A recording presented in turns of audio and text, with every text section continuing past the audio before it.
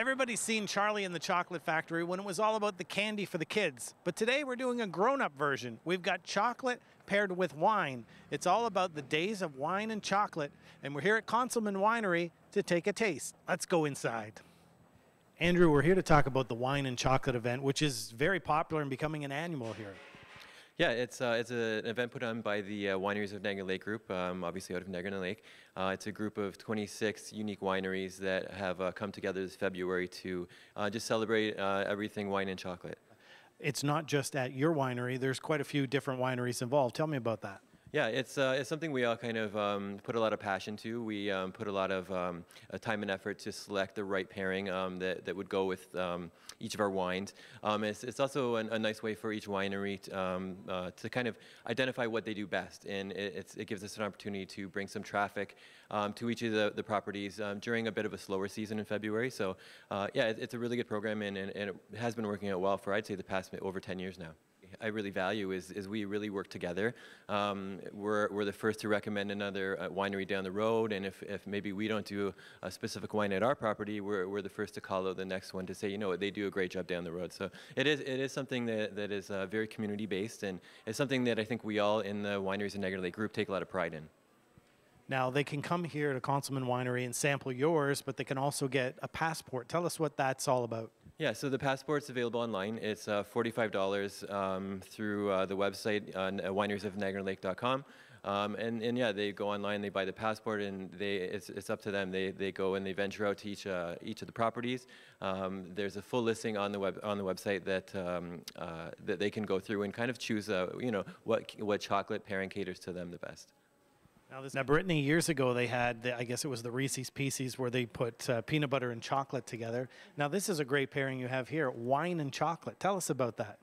So what we have today is a Ghirardelli dark chocolate rye cookie with Maldon salt snow on top. So it's a bit of a different type of cookie. Usually you get something more like a chocolate chip, but this one's got a bit of a different element to it because of the savory salt that's on there. So we're going to pair it today with our 2013 Pinot Noir Reserve. Now this guy is aged in barrel for about two years. And so it's going to have a bit of an oaky, smoky element to it and earth tones, but when you pair with the cookie, it's really going to bring out the fruit forward notes of the wine. So it's all about the cookie. It's all. It's not it's just a, you can't just get a chocolate chip cookie out of the store and it might not do the same for you. Oh yeah, every food pairing is going to make it different. So everything that you get that's going to be totally a different element to the wine. And now you're pairing up food, but you don't have a kitchen here. Tell us about the partnership you have in the community. Yeah, so this cookie is actually from Casa Mia Restaurant in Niagara Falls. So we do have a lot of uh, great relationships mm, with other places um, from around the area, even from as far as Hamilton. We'll work with them closely, and they'll um, give us some really great food pairings that we will pair with our wines. uh, hi, I'm Stephanie, and I'm here for my birthday, and we're here for the Days of Wine and Chocolate. All right. I love the cookie at Konzelmann Winery, but when I came over here to Pondview, I noticed they have like a baby back rib with some chocolate. I'm going to go and check that out. Well, we've got a fantastic pairing. It's our 2014 Cab Sauvignon. That's our Bella Terra series, so that's our premium wine here at the winery, Bob.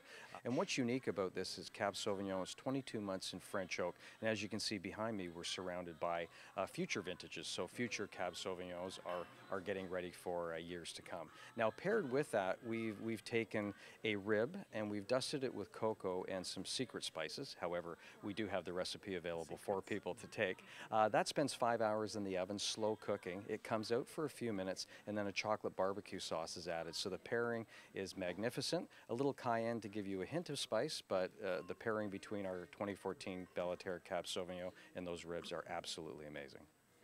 Now, going into something like this, tell me, how much fun did you have sampling it? Oh, my goodness. Uh, you know, it's always fun to sample all of the wines to make sure you're obviously getting the pairing, but those ribs and the wine combination has been amazing, and all of our team members here have enjoyed them as well. How, what's it been like, the people coming through?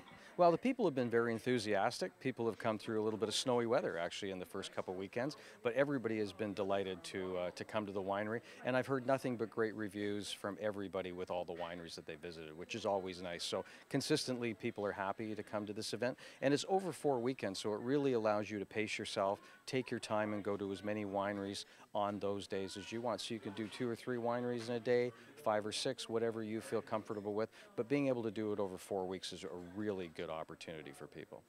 Now, I couldn't help overhearing uh, you reacting to the ribs. What did you think with the pairing? They're delicious. Um, it's a little spicy. The chocolate and the barbecue is um, an interesting combination. Um, I love it. It is a fantastic pairing. I think it pairs well um, with rib and chocolate and ribs. You can't go wrong. Is this something you might try in the barbecue at home? Uh, excellent. Yes, uh, definitely. I, I told her she could keep me if she could figure out how to make it, and, and the recipe came over. And the wine, the wine's excellent. It's very good.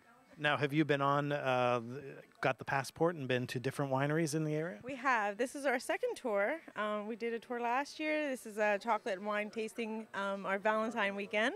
Um, so it's good timing. And um, yes, we've enjoyed many of the wineries in Canada.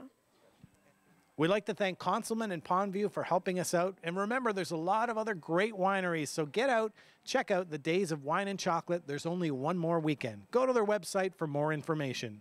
Reporting for The Source, I'm Bob. I love my baby back, baby back chocolate ribs, Romeo.